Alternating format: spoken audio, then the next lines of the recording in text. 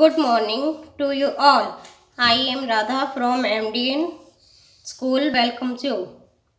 मेरा आज का टॉपिक है व्हाट कम्स आफ्टर यानी कि बाद के अक्षर अब सबसे पहले आप अल्फ़ाबेट यानी ए टू जेड इनको पढ़िए A B C D E F G H I J K L M N O P Q R S T U V W X Y Z अब इसके बाद मैंने आपको कुछ एग्ज़ाम्पल दिए हैं नीचे।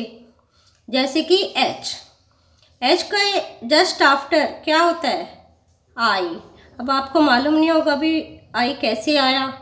तो आप ये अल्फ़ाबेट है जो उनको एक बार रिपीट करें। A B C D E F G H H जो कि आपके क्वेश्चन के अंदर है एच एच के बाद तुरंत देखिए जस्ट आफ्टर क्या है आई तो एच का जस्ट आफ्टर क्या होगा आई आगे नेक्स्ट क्वेश्चन देखिए आप एफ़ एफ़ एफ़ का जस्ट आफ्टर क्या होता है?